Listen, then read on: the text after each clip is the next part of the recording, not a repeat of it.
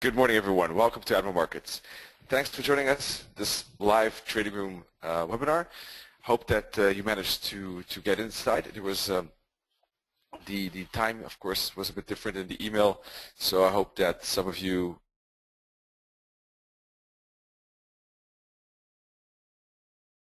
should be at 7:45 a.m. GMT, as always. Okay. So before we take a look at the market, this presentation, first of all, Please be aware of the fact that uh, this webinar is intended for a global audience. Please take it into account that it may not be suitable for everyone. To find out if it is or isn't, uh, get uh, go to sorry admiralmarketsglobal.com, select your country of residence, and contact an appropriate entity. Also, of course, there's high risk involved in trading foreign exchange and other financial products. Please be aware of that and seek the advice of an independent financial advisor for more information on that. This webinar is not advice. and is for informational and educational purposes only. And uh, by continuing watching this webinar, you agree with the disclaimer. You can always request a copy by going to the same admiralmarketsglobal.com and following the same procedure as mentioned just a minute ago. All right. So today, oh, sorry about that. Today, as always, we're going to use this model for the entry strategy. It's a, it's a five-step plan so that we are not jumping into a trade or chasing the market when it's too late or too early, but try to find a, let's say, emotionally balanced uh, entry strategy. And of course, exit strategies is, is, something more complex, in my opinion, and we'll be looking at that from different uh, angles. Most of the time, of course, I'll be mentioning stop losses, TPs, but perhaps sometimes even show stop losses. Alrighty. So this week, besides Camarilla and intraday trading uh, this morning, we have tomorrow Forex strategy, same time, 7.45 a.m. GMT. And Wednesday evening, tomorrow evening, Nenad is going to take a look at Fibonacci arcs, expansions, and fans. And then together, Nenad and myself, Thursday evening are going to take a look at flashback of 2014 and expected trends in 2015. That's going to be fun, I think, because you're going to take a look at the slides I showed you a year ago and my predictions and see was I horribly wrong or was I a bit accurate and a bit wrong or was I spot on? And we'll find out Thursday evening. All right. And of course, besides that, we're going to take a look at the my predictions at least and uh, yeah, of the next year. So expected trends in 2015. So that's all this coming this week. Next week, there will not be many uh, webinars. Then it will have a his webinars on the 22nd and 24th. I will not have my webinars, so only Nenad will have two webinars throughout that week. This 24th is actually incorrect here. There will be no webinar on uh, on that morning. All right, just so, just so you know.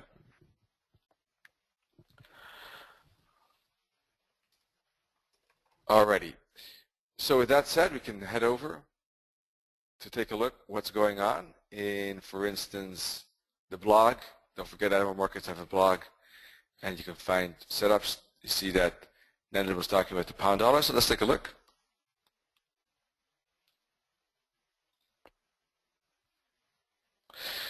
That is saying pound shows a complement at 57-ish.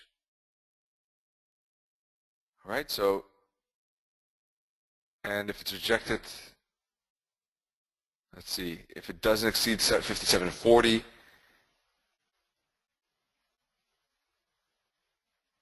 Okay, so 57.40 has to hold, and uh, he would expect more downside around 57 for target at 56.40 or 56.10. So let's take a look.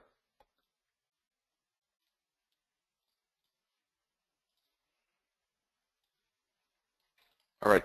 If you're new in here, by any chance, let me know because it's always useful. I can explain a bit more details about what uh, is happening in this trading room. All right. Uh, otherwise, I assume that you've been here more often and, and you know the, the drill, let's say, the, the, the sequence and stuff uh, uh more thoroughly, of course. The Camarilla is the topic of today. The Camarilla will only be visible on the 30-minute, 50-minute chart, by the way, not on all time frames. Okay, It's especially useful for intraday trading, I believe, or scalping. So what happened yesterday? Let's take a look at the 30-minute chart. Nenad was talking about 50, 57. I'm not sure when he wrote it. It was the 14th, the 15th. Let's take a look again. Ah, I already got rid of it. Well, price went up to 57.46 and then crashed indeed to 56.10. So, okay, price you know exceeded his 57.40 by a few pips, but very marginally, and then indeed crashed to the 56.40, 56.10. So that was seems to be, as far as I can see, spot on yesterday. That fall uh, that he had in his plan. So hopefully, I managed to grab those uh, those pips based on this analysis. If you liked, at least, of course, it's always your decision. Yesterday, I also released um, the video analysis. You can find that wave analysis, just like this wave analysis you can find for today. On Mondays, you'll see a weekly overview of the major currency pairs that shows the uh, the summary that I expect for the pound dollar, the dollar yen, AUD USD, and euro dollar. Basically, what I said yesterday is that the euro dollar is, and all the dollars, in fact, are looking like a bit of a retracement, in fact all the uh, all the dollars, the pound, the dollar yen, all of them basically, to me, are looking like a, a spot where price could uh, get into some retracement. We also have to think about time, as Nenad says also often enough, and I do too. As you know, time is not just uh, a useless element on the charts.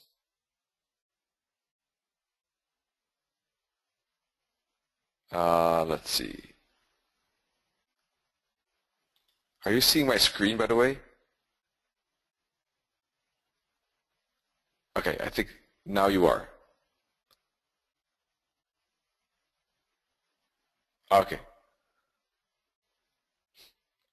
I hope that didn't last too long, but anyhow, I just showed you Nenad's example and uh, where you can find the wave analysis, which is analytics, and go to wave analysis. Regarding the calendar, we have today we had Aussie monetary policy meetings German PMI, Bank of England, governor speaking, Bank of uh, G, G, um, GBP, not GDP, GBP, CPI. But tomorrow, primarily, we have FOMC statement. All right. So anyhow, risk calendar, wave analysis, traders blog, where you see Nenad setup. You can all find it under analytics and education webinars. That's all you missed. Uh, let's see. Kalian says that it was a later call when price was at 57. Okay. Yeah, then we didn't get the pullback. Uh, or I'm not sure exactly how you meant it, but indeed it fell to that level.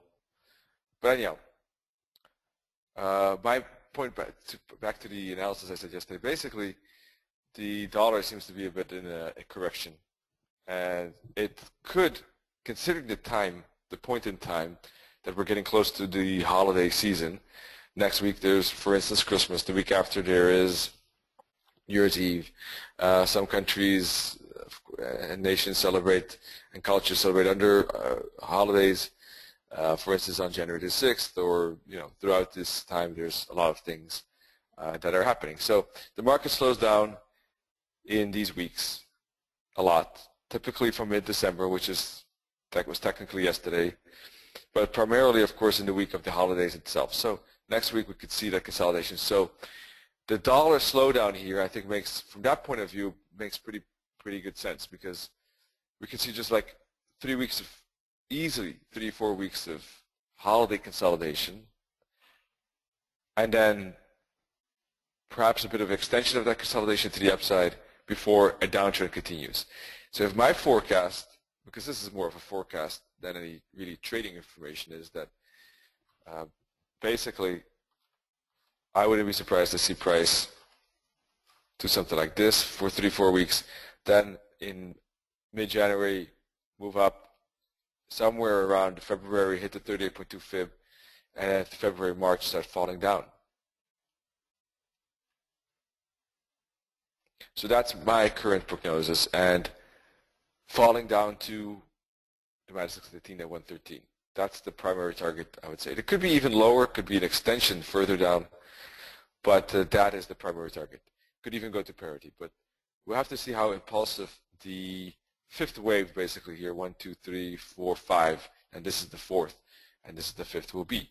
Time will tell. But looks like there is a potential that we've started four. And four, as you know, could be long. Fourth, four waves, fourth waves are typically pretty big consolidations. The second wave was only about 20 days. So we probably see easily a doubling of that. So about 40 days brings us already indeed to end of January. So it could easily be February or even March before we have that. Waves four are typically shallow. So in that regard, price should not go back above 50 fib. That should be the absolute maximum, which is 129.80, which 70, which is very close to 130 as well. So I wouldn't expect to go price for price to go above 130. 128, the 38.2 fib seems more logical.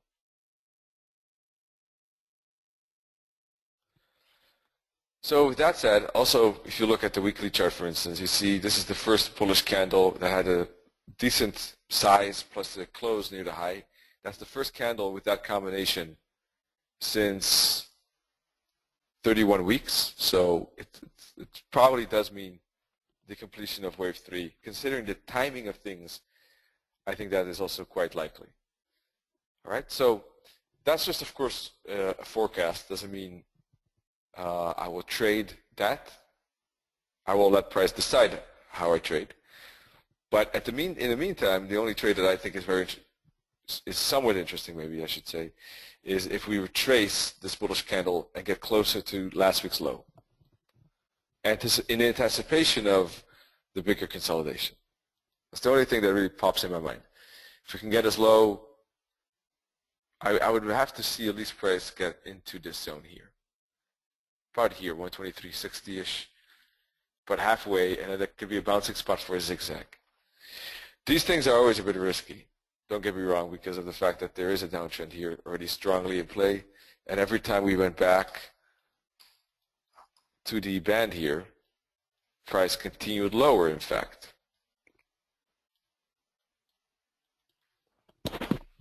And at times it didn't even get back to the band. Look at this area here. It didn't even touch the band. So within this trend, this part was the most impulsive, wasn't it? Why? Because it didn't touch the band. So this was probably a wave three. That's how you can use it for analysis. Anyhow, until that point, we can look at the intraday trades. I wouldn't say swing trades are the best. Yeah, we have FOMC. That's going to have an impact. It, I mean, obviously, if the bottom breaks, my analysis is out of the window. If it goes above the 50, my analysis is out of the window. Those are key levels for my opinion. Price should stay between those for, for a while, if I if I, my prognosis is right. But doesn't really ma uh, matter for the Camarilla strategy. I'm kind of getting off point here.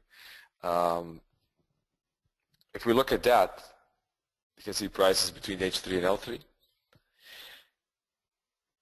You can still, of course, use bigger analysis to judge if using, if you want to use Camarilla on this time frame. So let's take a look at the four hour. If you look at the four hour chart, is the euro dollar at this point in time when looking at moving averages and trend lines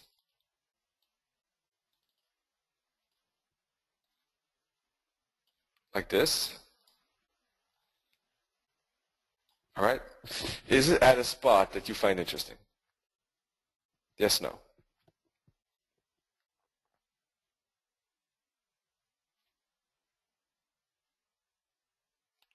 Because basically, of course, we can use, we can use Camarilla uh, at any, any point.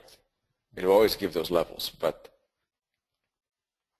there are many pairs out there. Would it make sense to look at Camarilla? Is this something you would like to trade? Yes, no. When looking at the four-hour chart.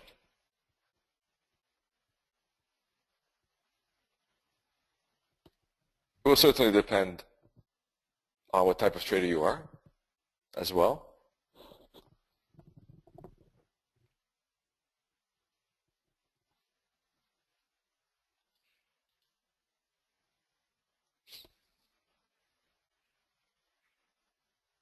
I got two answers. Let's see if we can get a couple of more.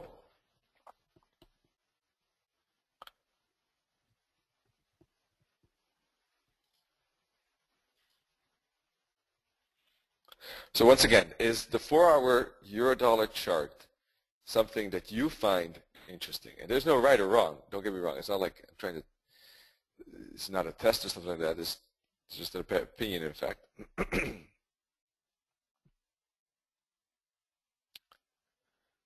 I think that uh, most people are sleeping.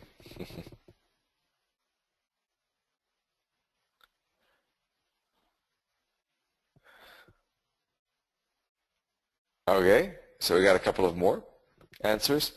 Bob says, wait, Björn, you first said no, but not on the four hour, but then you said yes, looks good. I think what you mean is probably on other time frames it looks good, I guess. Is my best guess at least. If I let me know. Ah, no for Camarilla. Okay. But the four hour you like. Okay. Uh, and Nicola says no with a question mark. And Justina says not for me. Yeah, it all depends. Really, there's no right or wrong. I, that was not a trick. That is really true. There's no right or wrong. For me, if I give you my opinion, I'm not a big fan of it, no, because of the fact that on a four-hour chart, we've already broken out of the downtrend. Where, where did that happen? Right here, this spot and price is, is, is pushing too much uh, above it at the moment for me to consider it a four-hour downtrend. A daily is definitely still downtrend, yes, but not the four-hour.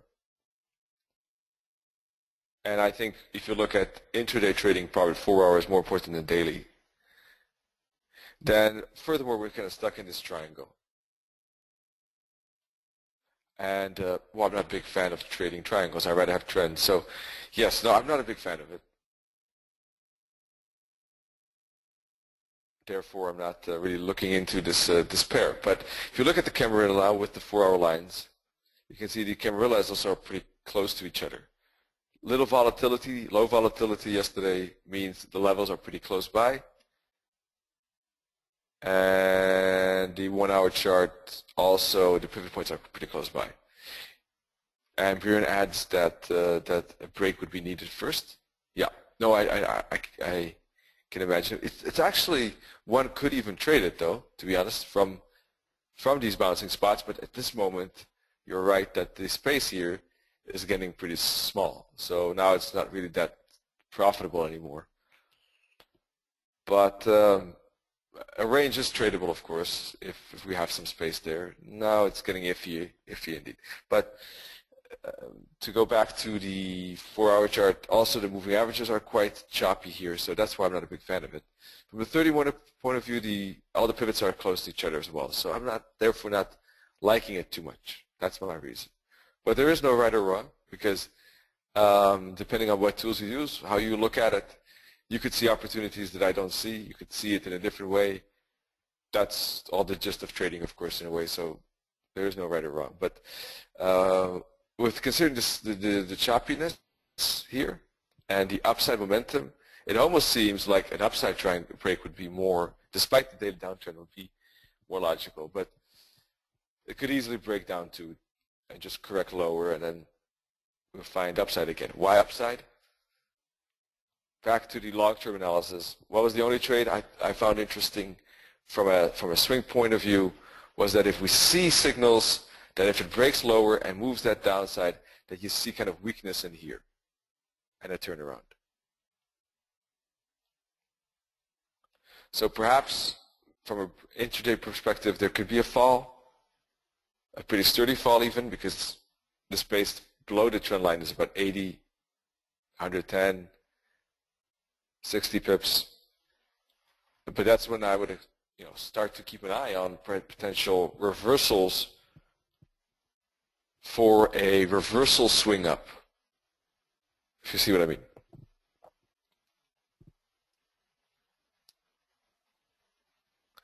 So basically, there could be a break here. Intraday, there could be a break lower. And the break, if you if the break does happen to the upside, be careful of 126, 125.90 because of the fact that there is a 23.6. And if it does break down, then be careful of 123.50, let's say, because that could be then the bouncing spot like that.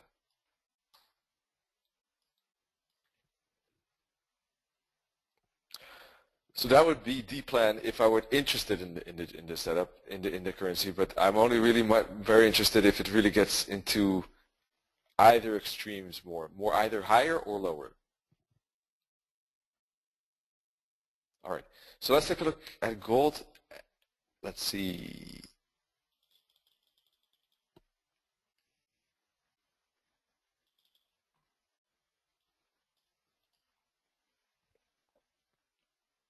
One second, folks.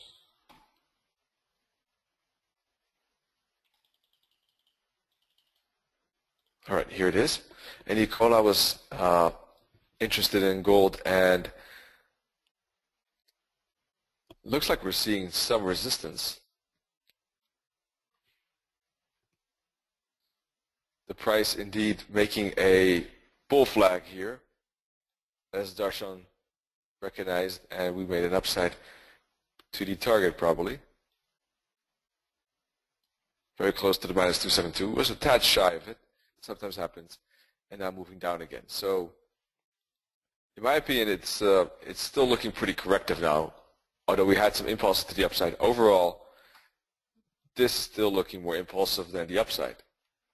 The question is, at what point is it tradable? Still have patience the four hour is still not, uh, the moving average is totally not aligned as yet. Maybe if it gets back up to here, the daily, at the weekly pivot point, the daily R1.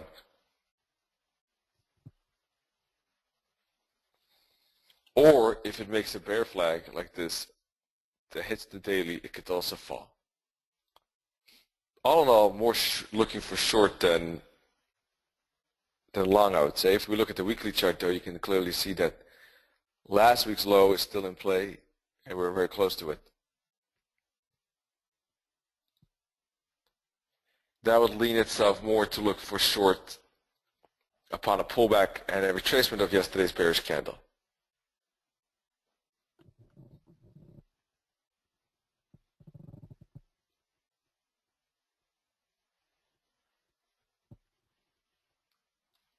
So that's I don't see any reason personally to, to go long here at the moment. I don't know this, except the weekly candle, but I, otherwise everything is bearish, and I don't think that that is enough confidence to to look for for longs. I think if anything, shorts make sense at this point upon the pullback.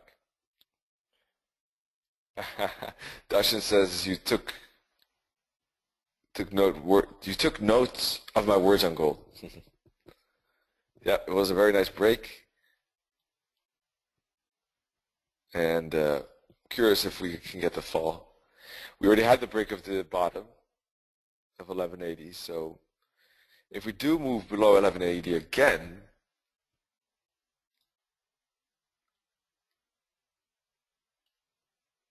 the next, I'd say, smaller target, I would say, is probably this minus 618 at 1082. So the same dollar situation, I think, is for the yen too, which is retracing. Last week was a bearish candle in a very big uptrend. So it looks like here we can get retracement to the dollar yen. If it gets up to the H3, would be an interesting short, I think. As a counter trend trade, perhaps, depending on uh, how you look at it, to L5. Pound dollar.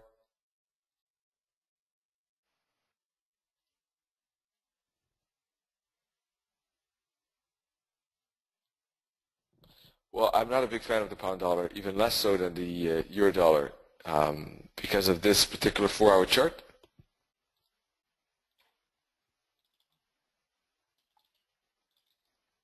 Like that. So basically we had some spikes above it and below it, but we really didn't box ourselves out of this zone ever since uh, more than a month ago. So when I look at the four-hour chart, I don't see the need to look at the 30-minute chart, if you know what I mean, because of the fact that the the four hours looking so so corrective. If we do get a break, there's also that danger that we get a false break. So not too interested in the pound dollar. If from the majors, the dollar yen looks even actually the best one. from the H3. The Aussie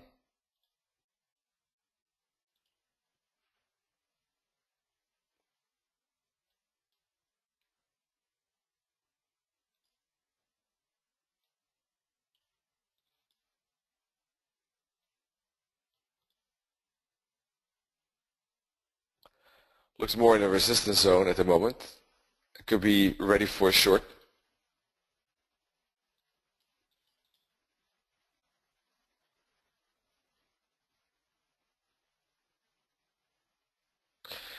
The Aussie was the exception amongst the majors because of the dollar yen uh, had dollar weakness, the euro dollar too, the pound dollar too, but the Aussie in fact didn't. The Aussie lost against the dollar whereas the others gained against the dollar. Aussie was the weakest last week of these these these five. And you saw the euro odd and pound odd indeed move a lot up logically because the Aussie lost against the dollar, but the dollar lost against the euro and pound. So the Aussie is still in bearish territory because it's look at these moving averages here, 13 EMA, 21 EMA, and this is it should be the 89. Prices 21, excuse me, 13, 21, and 89. Prices below it, the moving averages have an angle and they're all aligned. It, uh, it's, it's not rocket science to see that that's a downtrend on the weekly chart. Plus last week's candle was bearish. So looking at daily, we see the same thing. four-hour chart, we see the same thing. There's only one thing that could be potentially harmful is this particular slowing down of price while breaking the bottom.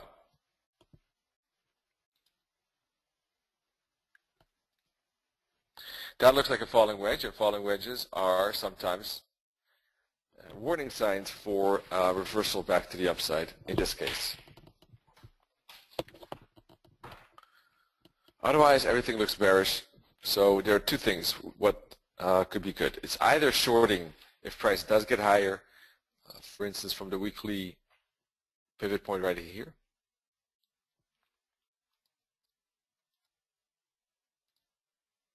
which is the H5. Or, even shorting it earlier, at the top of this falling wedge, which we are right now. Like this.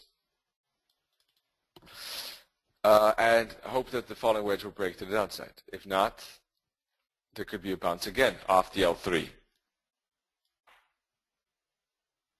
So it's a bit more risky, right? One could try it, try to hang on. If it does bounce, try to get out for break even.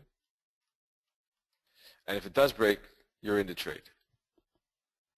If you wait for H5, it's going to be a bit more, um, uh, how do you say it? Yeah, riskier in the sense, not riskier, but there's a chance that price cannot uh, reach there. So let's see if there's anything better than the Aussie. It's it's just as good as the yen, I think. Although the dollar yen doesn't have the rising, the falling wedge.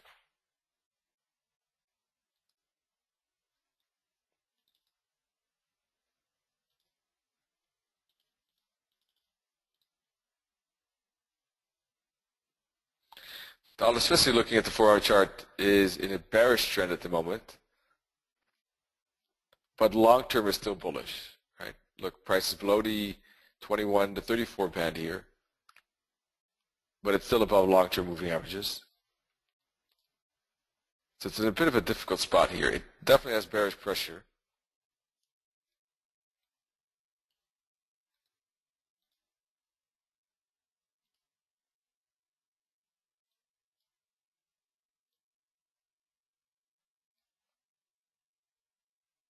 Trading the dollar weakness could could be better uh, with the Swissy and the yen than the euro and the dollar, I think. Uh, the euro and the pound, sorry.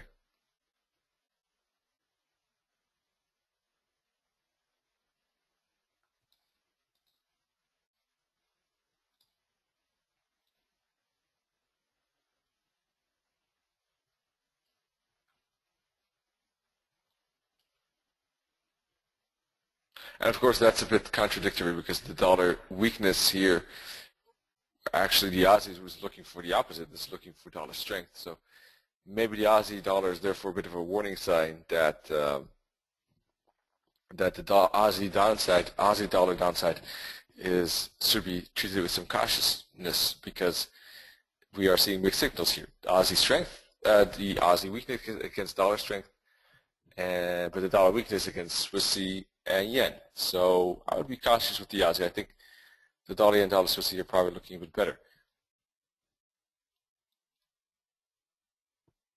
As your dollars reaching the daily R1.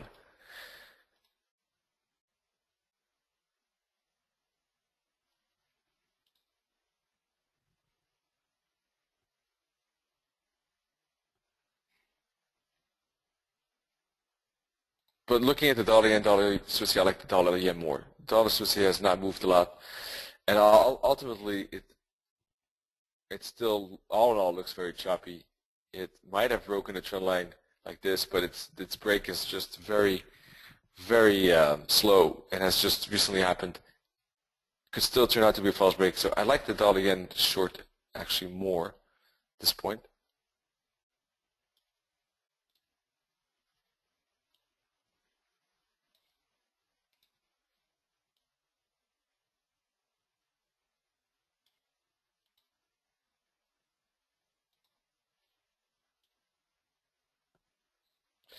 But I would require at this point a bit of a pullback, especially if you look at the monthly week pivot point. So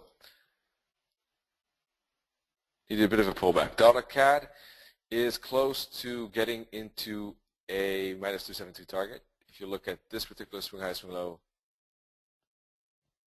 uh, let's see, which one was it?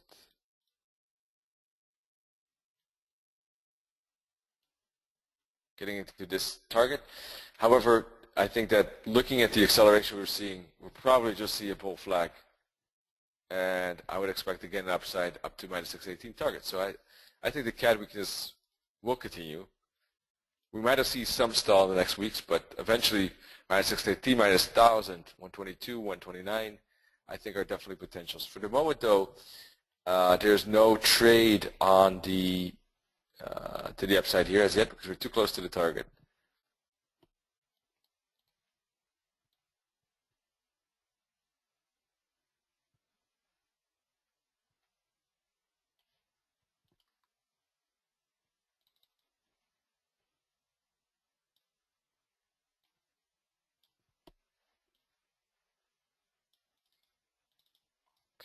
Alrighty, let's see. Pound yen.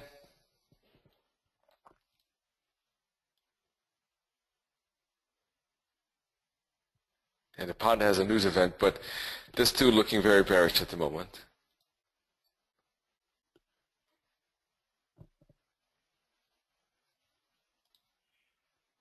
Yeah, it's going to be difficult to trade it with the news event that close, but uh, if it does make a retracement, it uh, it could be worth shorting as well, just like the dollar yen. It still has space to the minus 618 target, as you can see.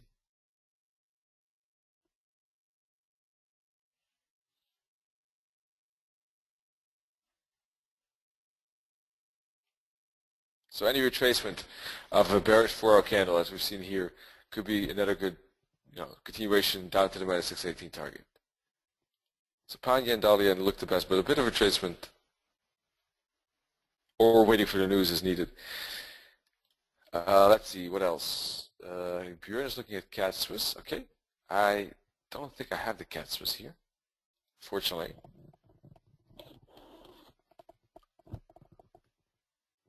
But I think that uh, as far as I remember from this morning, it looked good for a short. Do you have the same?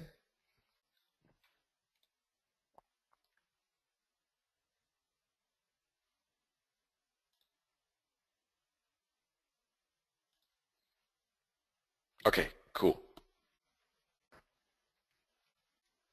Great. Pure and see the same. Uh, the turning spot for pound yen for the upside or for the for more downside?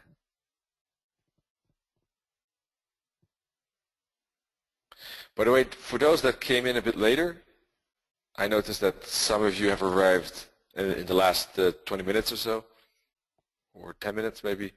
Uh, the I'm not sure if your later arrival was due to the time mentioned in the email, but from next week and onwards, there from next week onwards, there should be. Well, actually, next week we don't have a session. So two weeks from now, sorry, uh, we'll have a session just at the normal 7:45 a.m. GMT.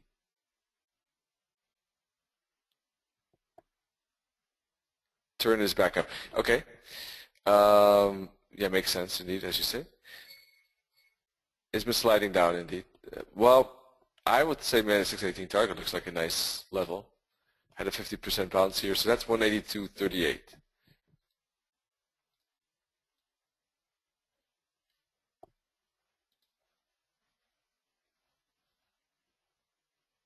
So at the L4.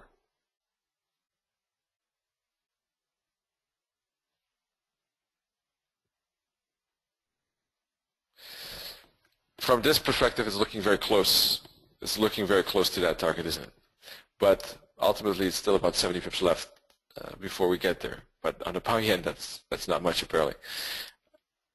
So that could be a bouncing spot, but with emphasis on could because uh, not always these targets get equally uh, respected. Here you do get a bit of a bounce at the minus 272, but it's just a slight upside, 60 pip upside before you get downside again. A target like that could get pierced as well by 20, 30 pips before you get upside. So we have to be cautious. We have to keep an eye on whether we see some, some confirmation. But it could be easily a zigzag. Oh.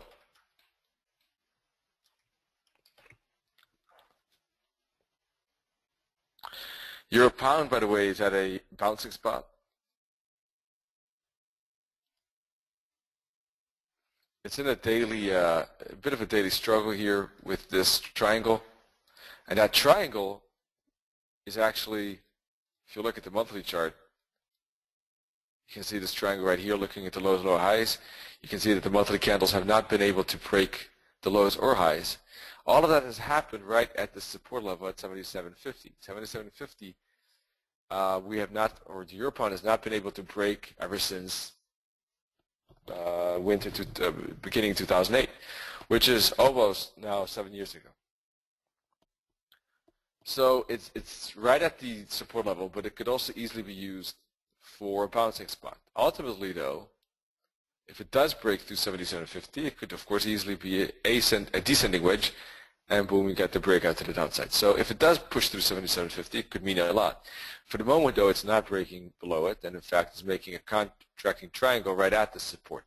That triangle could, of course, get broken to the upside for trade up to the resistance line, or the triangle breaks, and perhaps later on we can break the support.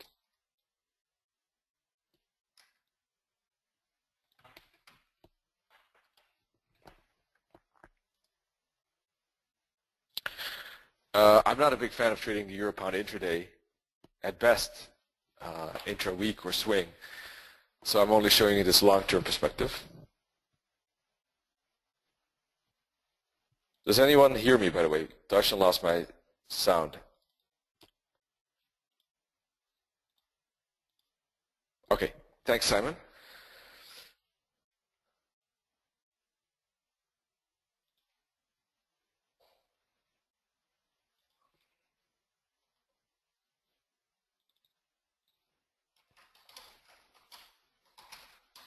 All right, let me just quickly write Darshan.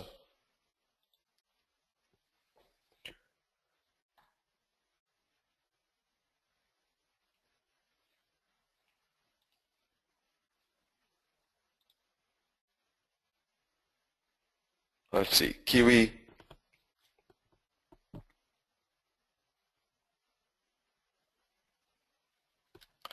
A bit of a struggle here. Not too interesting if you look at it that weekly than the daily. If anything, it looks more like a bouncing spot, but it's pretty messy.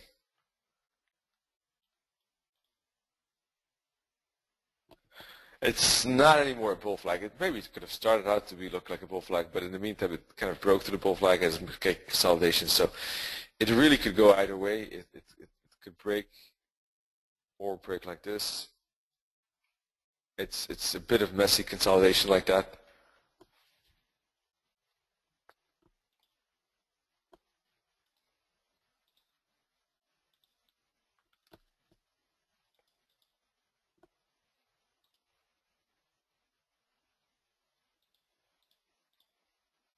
Well, the euro odd is certainly in a trend, so the upside makes sense. Still a continuation of the uptrend. One more push. So let's see. We had actually recently a bounce here at 151.10.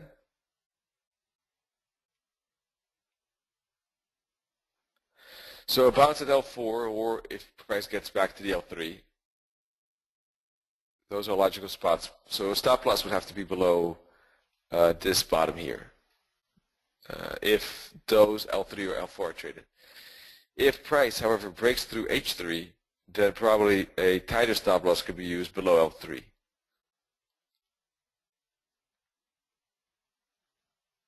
The other option is to wait for H3 to break, but then wait for subsequent hook back to about halfway to look for a long as well.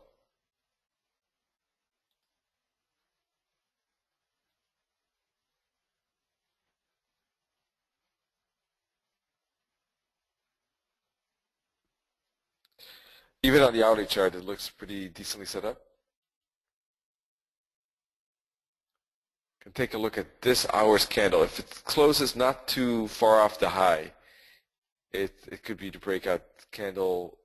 It could be not maybe the breakout candle. It could be it could set up in the sense that it's pushing above the moving averages, but it probably will not break this trend line fully.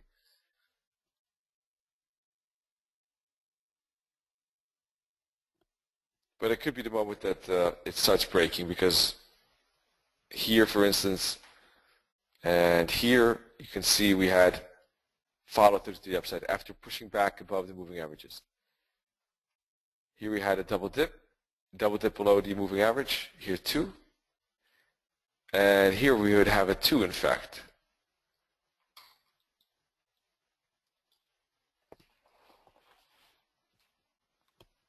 If anything, the euro odd looks the most interesting.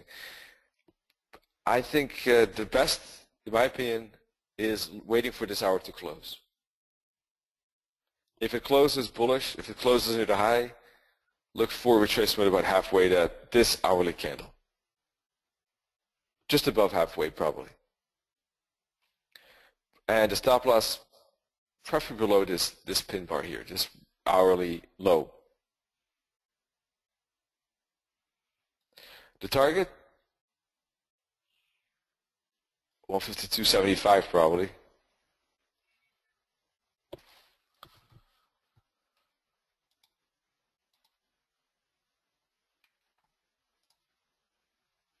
One fifty two fifty maybe is even more conservative.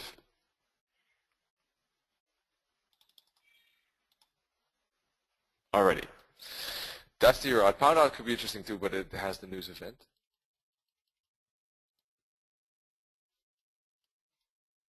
CAD is a, is a bit messy. Uh, the New Zealand's too, the pound New Zealand, New Zealand, I think. Bounced off that minus 272 target, making an uptrend ever since.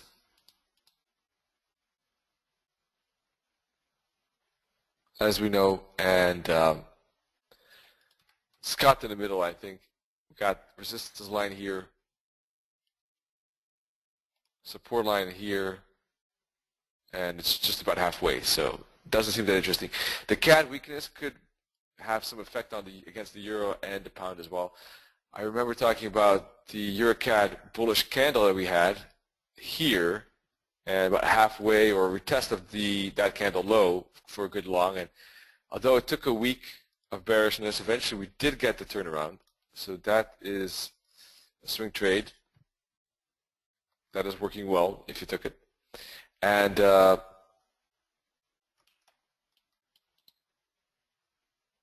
we're getting the CAD weakness. So if anything, looking for a dip probably for more upside would make sense. A dip doesn't have to be that far as long as price gets at least back to the 21 band. That's the that's what I would need to see happen because otherwise it's it's a runaway train at the moment.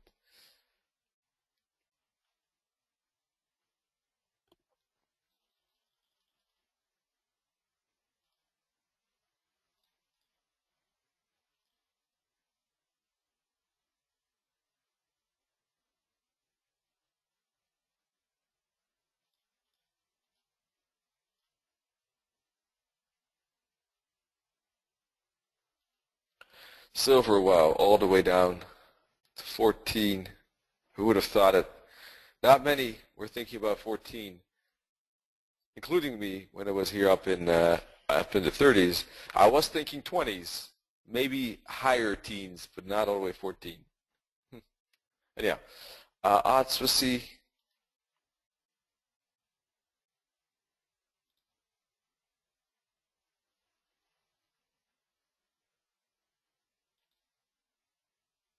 Good trend.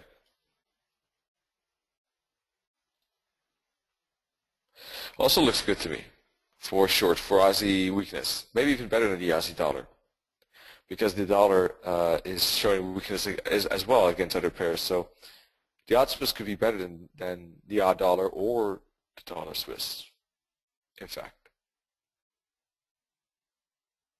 So ideas could be the break of L3 below this, this fractal here.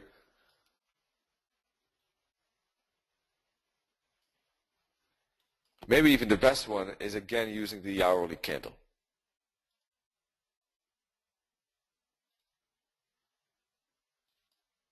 Obviously, I mean, there's always a bit of a risk because of the fact that, you know, trend has lasted for a long time. When it lasts that long, there's always the slight chance, or somewhat chance, that uh, it will make a retracement just at the moment that the trend doesn't just doesn't continue anymore. That's always a bit of a risk. But I would say this hourly candle could be good to keep an eye on. So the outsourcing seems to be one of the favorites at the moment.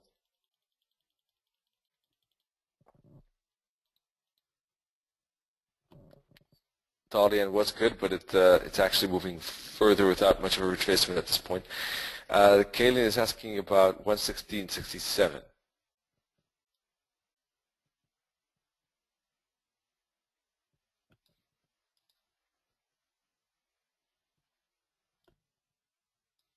Well, there are a lot of pivot, point confluences here. That's true, but let's see if we put a fib from here to here. What it says is minus 272 target, okay. Ultimately, though, I think it's just a small bounce, if it does bounce here.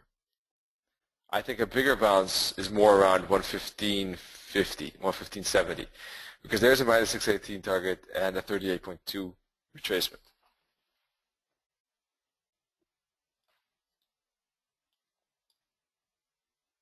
Sorry, if I put the fib correctly, it's actually 115.50.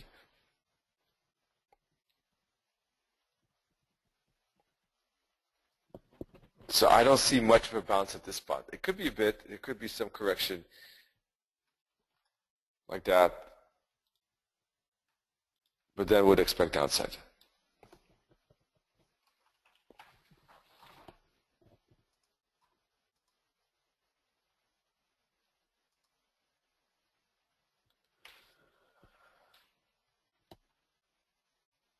All right, now it's up to you. Do you have a particular, uh, because I think that looking at intraday, still the, the Dahlia makes sense to me upon a pullback.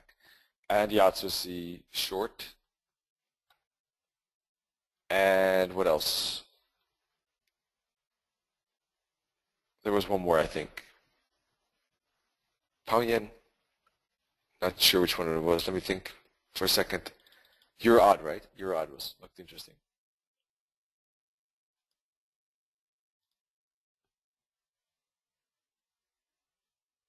Yeah, those three, I think, at the top of my head.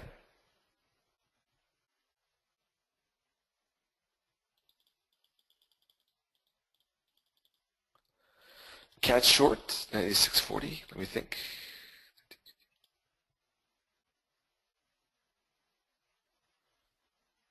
CAD short. You're talking about the dollar cat? No. Odd, oh, odd CAD, sorry. I thought you said, I thought it said end, but it's actually with a U, not an N. That's funny. Uh, let's see, odd CAD.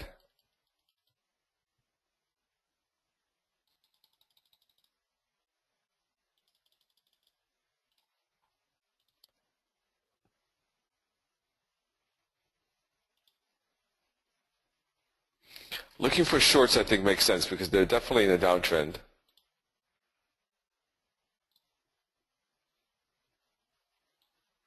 On the lower time frames, it's been corrective, but if it gets out to H4, which is 96.40, I think it makes a lot of sense indeed.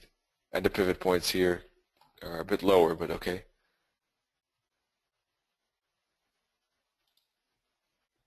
If we put a fib on this first correction here,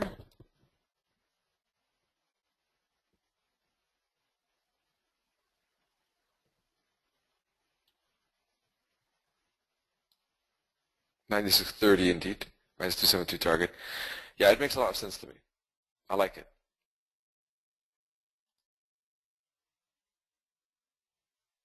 The stop loss is a bit of a different matter because uh, could spike up to 98,680. You never know. So there are a few options here. It could be a looser stop loss, which would be above 97, maybe even above 97.40, but that's pretty wide. A tighter one would have to be then just maybe above 96.50, or waiting for a wick and putting it above the high.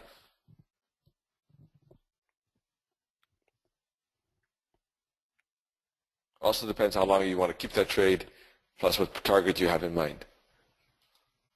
A looser stop loss would only make sense if you, if, you know, aiming for a wider take profit as well. Otherwise, um,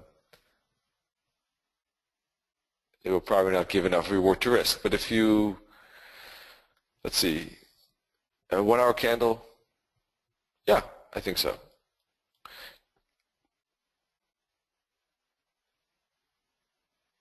Yeah, I think that should be fine. Some cases I like four hour more um, than one hour. One hour is a bit more aggressive because sometimes you just you see one hour, but then a good one hour signal with the momentum keeps pushing and pushing and then blast away the hourly. That's kind of the risk with that uh, with the one hourly. Um, ultimately, you know, it's some cases are so that really both could be used. I think this is one of them, but I think that judging from the strength of the four-hour trend, I don't think there's, there's it should be okay, I think. There is some divergence on the four-hour chart here. And uh, maybe the daily.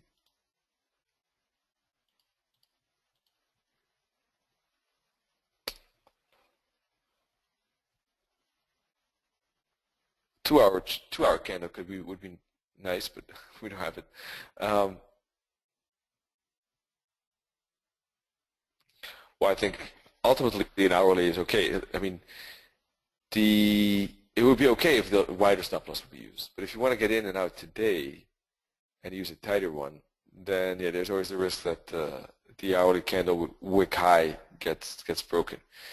So going 15 pips above the hourly high would make it a bit better.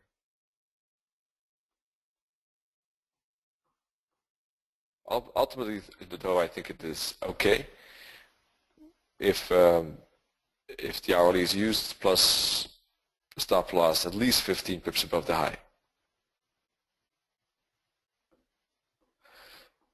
Yeah, what indeed? I think that uh, loose stop loss is, is not as bad as many people traders think. I don't think some traders even think about loose stop losses.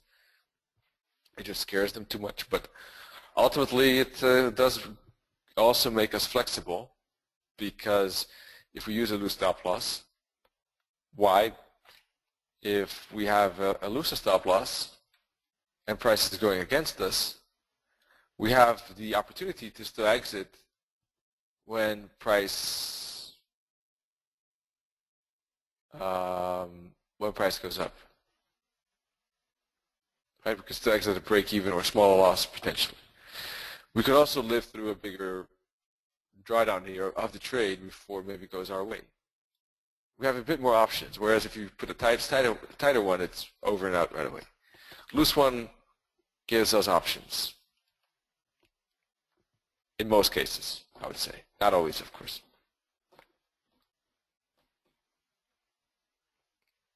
And of course, exiting for break-even is not an easy thing because um, we always are thinking, okay, the trade is it looks good. Oh, it's going against us. Oh, it's going with us. So exiting at that point is not easy, but Uh, it doesn't have to even be here necessarily. It could even be on the, you know, if it's making a triangle, something like that, then we don't like the overall structure.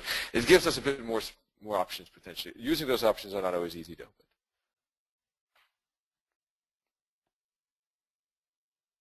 Any other questions that you would like to look at? Any pair that you have in mind for today? For a long-term setup, perhaps.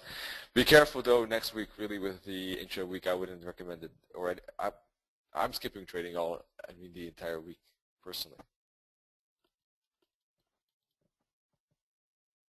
It could be a good time to uh, do some demo testing or practicing or paper trading or EA testing or pattern recognition, reading a book about trading, or just taking some time off, of course, it's another option.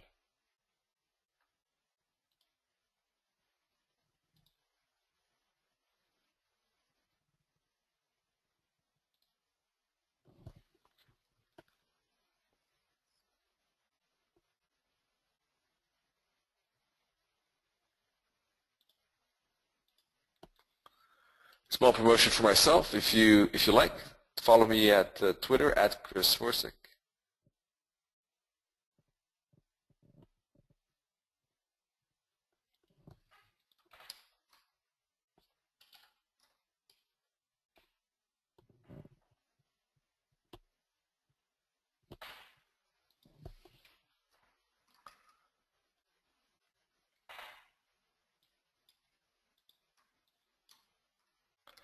And with that said, I don't see any questions, so I guess we can wrap it up.